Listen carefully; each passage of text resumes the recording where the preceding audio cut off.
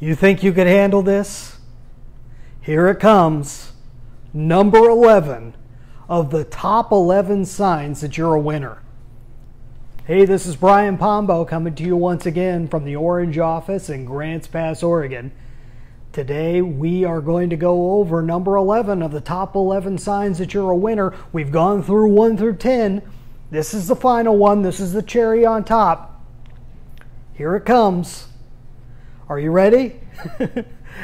Number 11 of the top 11 signs that you're a winner is that you're willing you're willing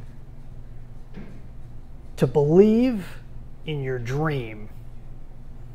I uh, know that seems kind of goofy and off the wall, right? There's something serious here. It has to do with strength. It has to do with, and it's not something that can be given to you. It's not something that I've found that you can actually develop yourself. You either have it or you don't. But it is by a matter of degrees, okay? It, it comes down to this Do you have a strong enough personal desire to overcome the often invisible obstacles and enemies that lie across your path.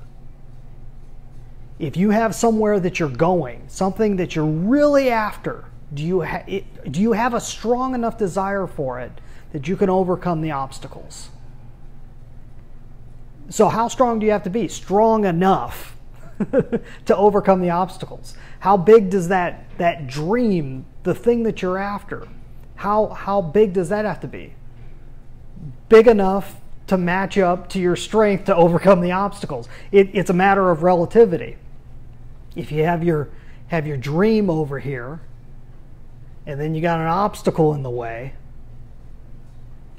how strong are you to jump over that obstacle? So if the obstacle's bigger, if you're not strong enough, you're not going to be able to go past it.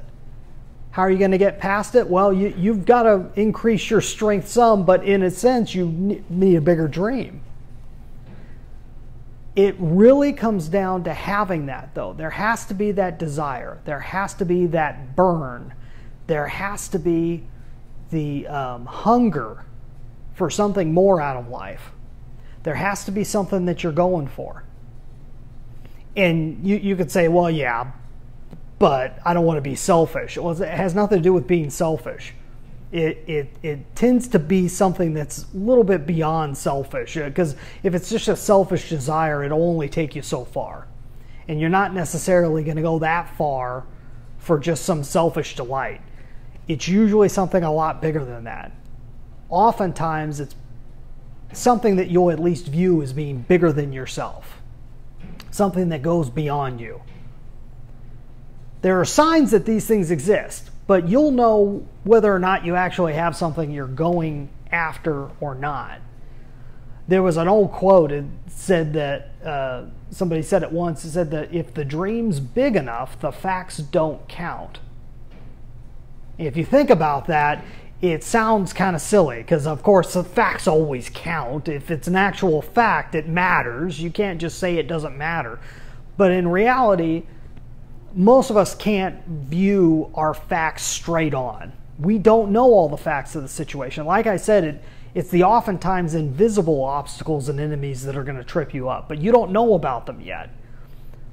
The facts that you know about don't matter if you have a strong enough desire to get what you're going after. And it has to be a want. It can't just be a need. A, a need is something you're going to get anyways you're going to you're going to find a way to feed yourself. You're going to find a way to provide shelter for your children. That's that's just going to happen. You'll find a way to do that. Needs are easy. It's the wants that really drive us to go forward. Now maybe what you want is what you need. That's another question. But you got to want it in order to move forward. And one thing I found if you own a business, if you're an executive, if you're the boss, if you're one of the people in charge, if you're driving things, if you do not have a strong enough desire, you're not going to be able to overcome the obstacles necessary to really take your business where you want it to go or where you think you want it to go. You've got to want it bad enough. It's got to be something bigger than life. So, does that match up with you or not? Do you think you have that or not? I'll tell you what, the strength of your desire is going to directly impact whether you're able to achieve what you want out of life. And the thing I look for when I'm working with new clients, when I'm interviewing new clients, when I'm helping someone else with their helping someone out with their strategy, it really comes down to whether they really want what's at the end of the rainbow or not. So that's that's why it's number 11. That's why it's the top thing because it's and it's not anything I can change. It's not anything I can encourage people to become more desirous. It that you either have to have it or you don't. The dream either has to be big enough or it's not. So hopefully that that resonates with you a little bit. This is why I call uh, the website that I'm working with right now the dreambizchat.com because it really has to do with whether you ha- want to actually create your dream business or not.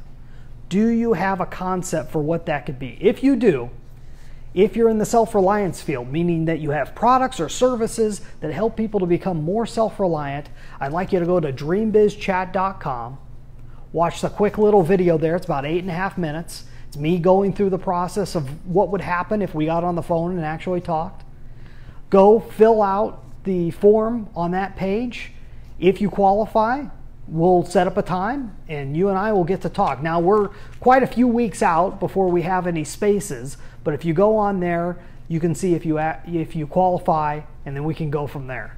So go to dreambizchat.com tomorrow we are going to be talking about we have these daily so you can come right back here wherever you're watching this whether the youtube facebook linkedin twitter what have you come back here uh, we're on instagram too and we're going to talk about what the concept of being everywhere actually means we talk about that in the uh, nine ways to be able to Amazon proof your business. We talk about being everywhere. I'm going to go through some details on that. Maybe I'll draw a few things out on the whiteboard.